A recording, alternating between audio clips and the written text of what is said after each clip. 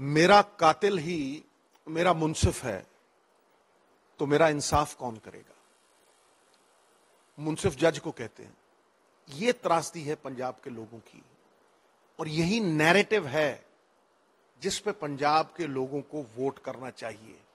इस वृतांत को बार बार तोड़ा जाता है, लोगों को बार बार भटकाया जाता है, झूठ बेचा जाता है, सपने दिखाए जाते हैं वो फ्री लॉलीपॉप दिए जाते हैं रैपर वाले, अंदर कुछ होता ही नहीं। बिना बजटरी एलोकेशन के। और लोगों को मूर्ख बना के सत्ता हासिल की जाती है, उनके भले का कभी सोचा नहीं जाता। इसलिए मैं कहता हूँ ये, कि मेरे भाई, जागरूक हो जाओ। आपके बच्चों के भविष्य का सवाल है। कोई भी माँ बाप सिवाय अपने बच्चों के, सबसे पहले, और कुछ नहीं सोचता, उसकी पढ़ाई के बारे में सोचता है। उसे आत्मनिर्भर करने के बारे में सोचता है। तो अगर आपने अपने बच्चों के भविष्य का सोचना है तो आपको ये खेल को समझना पड़ेगा। मुख्यमंत्री की कुर्सी हो सरकार, इनका दर्जा माँ बाप का होता है। शासक भाव अगर ये फेंक देना तो इनको वोट भी इंसान इसलिए देता है कि हमारी दी हुई ताकत जो है, हमें वापस डेवलपमेंट के फॉर्म में और हमारे बच्चों के भविष्य के फॉर्म में आए। लेकिन ये पिछले पंद्रह बीस साल से ये एक ऐसा दुखांत है कि बर्तांत ऐसा बनाया जाता है कि ये मुख्यमंत्री की कुर्सी और ये सरकार बिज़नेस अपना कर सके छुपते छुपाते, कोवर्ट ऑपरेशंस में, माफिया ऑपरेशंस में। और पंजाब के लोगों के रिसोर्सेस, उनकी धन संपत्ति जो सैंड है, जो शराब के रूप में पैसे आते हैं एक्सचेकर में एक्साइज के रूप में हम अगर शब्द सही इस्तेमाल करें। और केबल के रूप में उन्हें जो सहूलियत मिलती है, जमीनों, पंजाब की जो हमारी, जिसे हम माँ मानते हैं, उनसे जो आय आती है और ट्रांसपोर्ट से जो आय आती है, ये पंजाब के लोगों के, बच्चों के भविष्य के लिए फॉर द नेक्स्ट जनरेशन लगे। होता नहीं है। ये सारे पैसे, आप देखिए कहा यह जाता है कि एक रेत की ट्रॉली आपको 1500 और 2000 में देंगे। मिल रही है पंद्रह हज़ार में। पंद्रह हज़ार में, क्योंकि ठेकेदारों को वो दिए जाते हैं और पैसे शेयर किए जाते हैं। समझे? अगर रेत गरीब को डेढ़ हज़ार, दो हज़ार में मिले, गरीब मकान बनाना शुरू कर देगा। इकोनॉमी एकदम से उठ जाएगी। प्रेसिडेंट रूजवेल्ट ने अमेरिका में सड़कें बना बना के एक रिसेशन से अमेरिका को निकाल दिया था। जैसे ही कंस्ट्रक्शन चालू होती है, बाज़ार में सब कुछ उठ जाता है मार्केटिंग उठ जाती है, जो हार्डवेयर की दुकानें हैं वो चलने लग जाती हैं। लेकिन दुख की बात यह है कि वो रेत पंद्रह हज़ार की बिक रही है और जो मैंडेटरी है कि भाई रेत आप सरकारी खड्ड से लेंगे और वो रेत जितनी भी सरकार की सड़कें बनेंगी या मकान बनेंगे या सरकारी काम होंगे, उसमें उसकी पर्ची लगेगी और वो खजाने में आएगा। एक पैसा नहीं आया। शराब की स्मगलिंग, शराब की एक्साइज की चोरी, ये सब किसकी जेब में जा रहा है और कौन है सरगना? ये सब पैसे पंजाब के लोगों के फ़ायदे के लिए थे, जो निजी बैंकों में सरबत का भला नहीं, अपना भला अपने बैंकों में जा रहे हैं।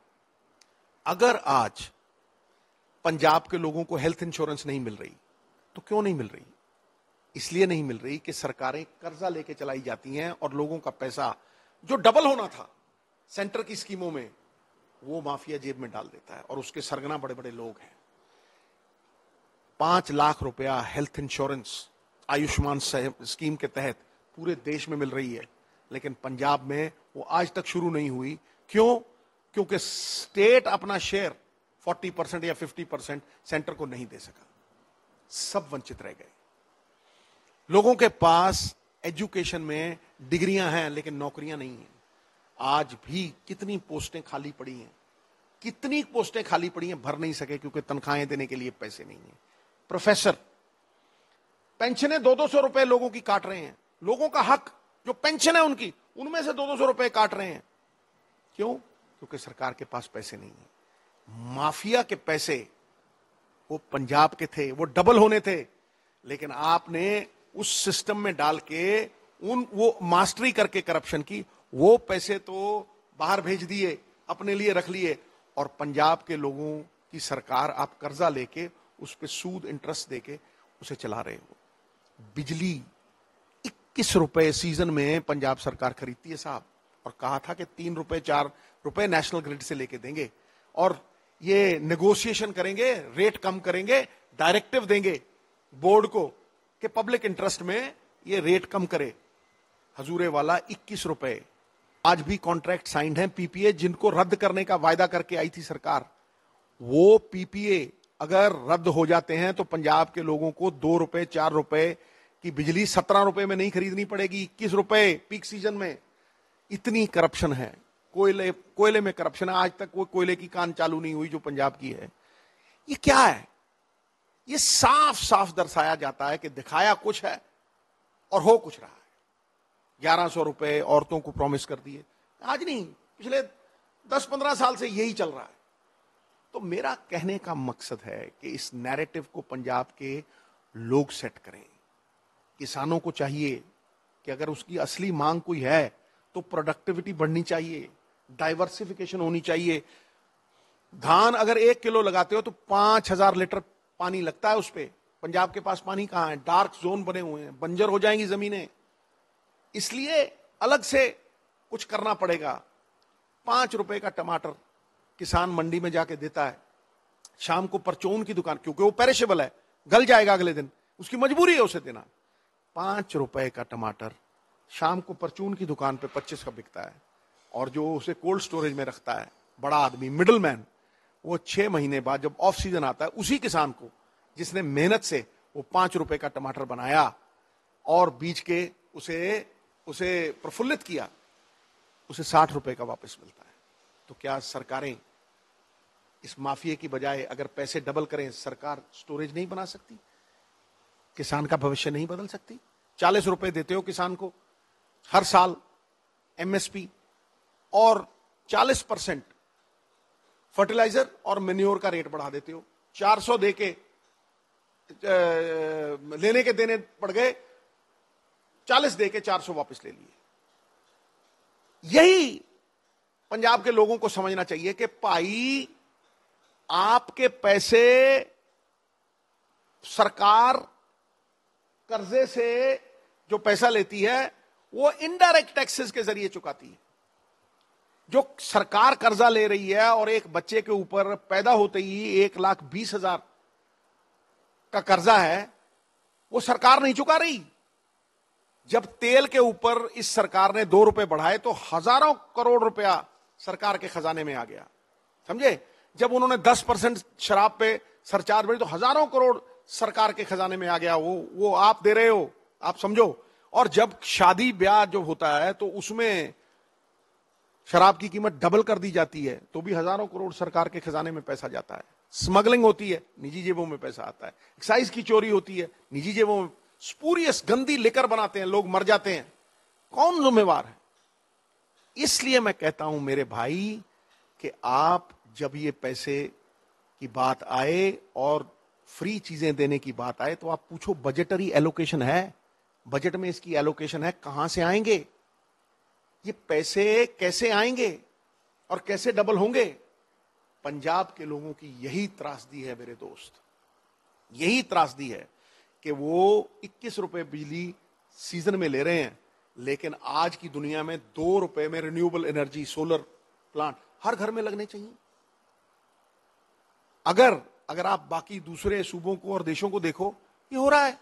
बिजली का बिल वैसे ही ज़ीरो हो जाएगा। लेकिन अगर बिजली का बिल आपने चालीस हज़ार करोड़ रुपए कर्जा लेके पीएसपीसीएल को गिरवी रख के फ्री देना है तो ये तो कोई भी होना पोना कर देगा मेरे भाई। यही नैरेटिव और वृतांत होना चाहिए। यही पंजाब के लोगों का मुख्य इलेक्शन का मुद्दा होना चाहिए। इसमें कोई डाइवर्ट नहीं गिरेबान से पकड़िए और मुद्दों पर घसीट के वापस लाइए, क्योंकि आपको भटकाया जाता है। आपको छोटी छोटी चीज़ों में उलझाया जाता है। और फिर चुपचाप माफिया कहाँ से पैसे आए, कहाँ गए और कहाँ जाके मॉल ली, कहाँ जाके बड़ी बड़ी जगहों पे प्रॉपर्टी खरीदी, किसी को कुछ नहीं पता चलता। मुझे एक पॉलिटिशियन बताइए, पंजाब के लोगों, एक पॉलिटिशियन, जिसका घर हो दो करोड़ का और कर्जा हो 400 करोड़ का, चला के दिखाए।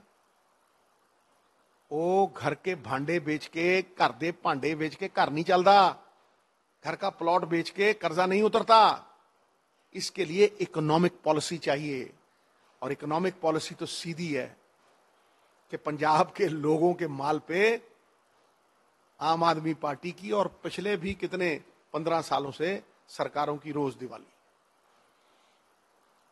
गरीब गरीब आम आदमी मिडिल क्लास आदमी, लोअर स्ट्रेटा, पैंसठ हज़ार करोड़ रुपए इनडायरेक्ट टैक्सेस दे रहा है और अमीर सिर्फ़ 400 करोड़ रुपए के टैक्स दे रहा है, सीधे सेल्स टैक्स इनकम टैक्स आप सोच के देखिए कि किस तरह का भूल भुलैया है जिसमें पंजाब के लोगों को और और लोगों को बेवकूफ़ बनाया जाता है।